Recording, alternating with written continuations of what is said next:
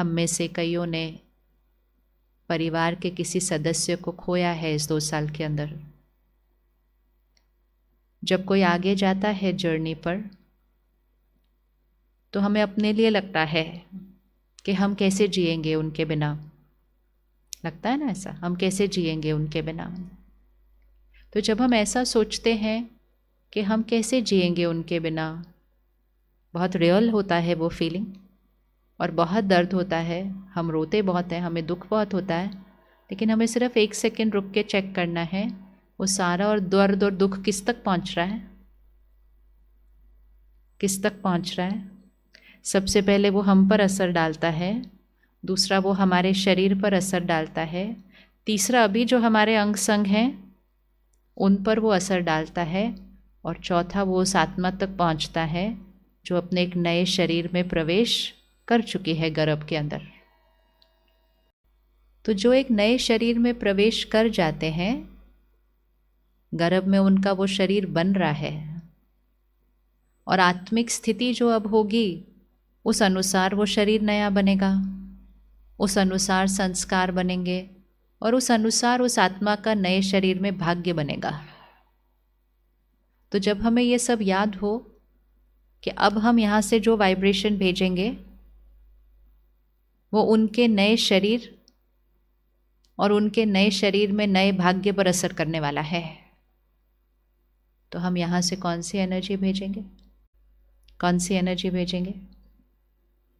याद हमेशा आएगी, लेकिन एक याद होती है दर्द में याद और एक याद होती है प्यार में याद। दर्द की याद उनकी शक्ति को भी घटाएगी। और प्यार और दुआएँ वाली याद उनकी शक्ति को बढ़ाएगी। लेकिन हमें लगता है कि कैसे दर्द नहीं होगा। ये तब होता है जब हम अपने आप को रोज़ एनर्जाइज नहीं कर रहे हैं। अगर हम रोज़ परमात्मा के साथ कनेक्शन जोड़कर उसकी शक्ति को अपने अंदर भरते हैं तो हमारे से वो शक्ति सबसे पहली चीज़ उस आत्मा तक जाती है। क्योंकि जब आत्मा शरीर छोड़ती है, जब आत्मा गर्भ में होती है तो उसकी कैचिंग पावर हाईएस्ट होती है। उसकी कैचिंग पावर बहुत हाई होती है और वो हमारी सारी वाइब्रेशंस को कैच कर सकते हैं। तो ऐसे समय पर हम अगर रोज़ बाबा को याद करके उनको वो याद की शक्ति भेजें राइट अगर हम उनको वो याद की शक्ति भेजें तो वो हमारा सबसे बड़ा गिफ्ट होता है उस रिश्ते के अंदर। जब वो हमारे साथ होते हैं तो हम उनके लिए कुछ भी करने के लिए रेडी होते हैं।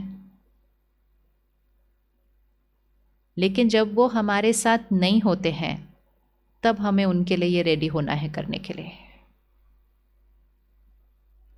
हमेशा याद रखना है, हमने एक जना खोया है, लेकिन उस एक आत्मा ने सब कुछ खोया है। पूरा परिवार, सब कुछ जो कमाया, शरीर, सब कुछ खोती है आत्मा एक सेकंड के अंदर। तो उनका दर्द, हमारे दर्द से, उनका दर्द, हमारे दर्द से कई गुना ज़्यादा होता है। क्योंकि हमारे पास तो अभी भी है ना, बाकी सब? लेकिन वो एक सेकंड में सबको खोते हैं। तो उनका दर्द बहुत ज़्यादा होता है। तो हमारी रिस्पॉन्सिबिलिटी होती है कि हम रोज़ मेडिटेशन में भी परमात्मा की शक्तियाँ बाबा को याद करके वो शक्ति उन तक भेजें, ताकि उनका नया शरीर और नया भाग्य एक कौन सी एनर्जी पे स्टार्ट होना चाहिए। और इसीलिए योग में जो प्रयोग हम करते हैं कि योग मतलब क्या? और ये सबको करके देखना है। किसी के साथ भी आपको अपने रिश्ते को ठीक करना है। कोई आपका कहना नहीं मान रहा है, कोई बात आपको करानी है, कुछ करना है, आप योग में उस आत्मा को वो मैसेज भेजें। उसमें कोई स्वार्थ नहीं होना चाहिए। लेकिन जो मैसेज आपको उनको देना है आप परम धाम में बाबा के पास बैठकर उस आत्मा को वहाँ इमर्ज करें और बाबा को याद करके बाबा की शक्ति उस आत्मा को दें और उनको वो मैसेज दें। और फिर आप प्रैक्टिकल में देखें कि वो मैसेज उस आत्मा ने कैच कर लिया होता है। जो बात यहाँ से बोलने से लोगों को नहीं समझ में आती हमारी, लेकिन उनको वहाँ परम धाम में बाबा के पास बिठाकर वो मैसेज भेज दें, उनको कैच हो जाएगी। और अगर यहाँ लोग वो बात कैच कर सकते हैं तो जिस आत्मा ने शरीर छोड़ा होता है, वो तो सबसे फास्ट कैच कर सकते हैं। सबसे फास्ट कैच कर सकते हैं।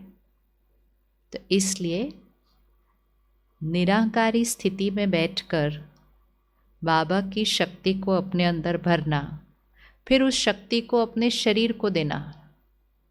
अगर शरीर में कुछ फिर वो शक्ति को उस आत्माओं तक देना और फिर उस शक्ति को प्रकृति को देना और उस शक्ति को उनको देना जिन्होंने नया शरीर लिया है। ये सब कुछ योग में होता है। सब योग में होता है।